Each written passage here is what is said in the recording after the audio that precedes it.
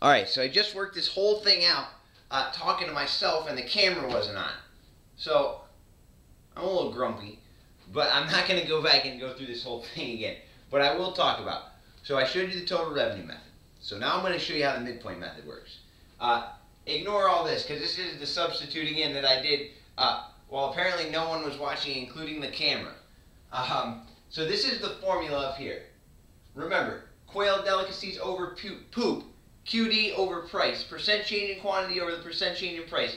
If you can remember that, you're in pretty good shape. This long formula, remember, chances are you don't have a calculator on the test. They're probably not going to make you do this here. Uh, if they do, they'll probably give you the percentages, although they don't have to. But remember, if they do make you do this, the numbers have to work out pretty easy and pretty simple. So, uh, know how this works more so than knowing uh, and remembering the exact formula. Uh, so I went through, I substituted in, um, and I went from uh, 10 to 8 here, or a price of 10 to 20. And so I took my Q2, I made it 10 minus 8, 10 plus 8, Q2 plus Q1 divided by 2. Uh, this went to 2, 10 plus 8 was 18 divided by 2, 18 divided by 2 is 9, so on the top I got 2 over 9, which comes out pretty close to 0.2 I believe, 2 repeating.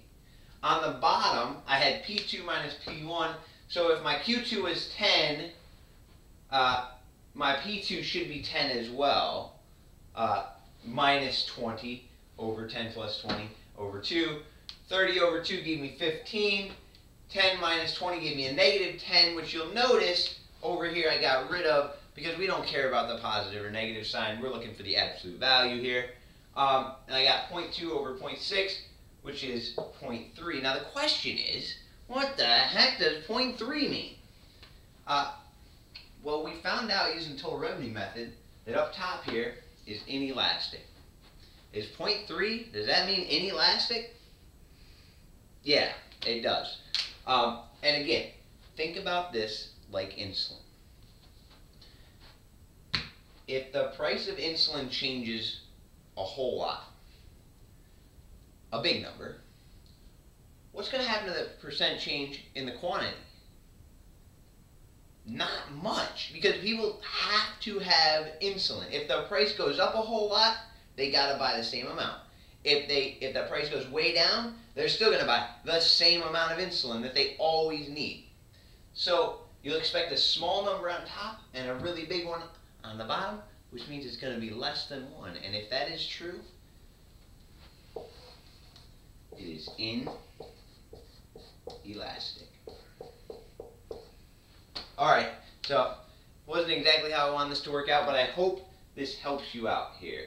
Um, if you go down here, you should find that it is bigger than 1. If you need a little practice, go ahead and test it out. Alright, let me know if you have any questions.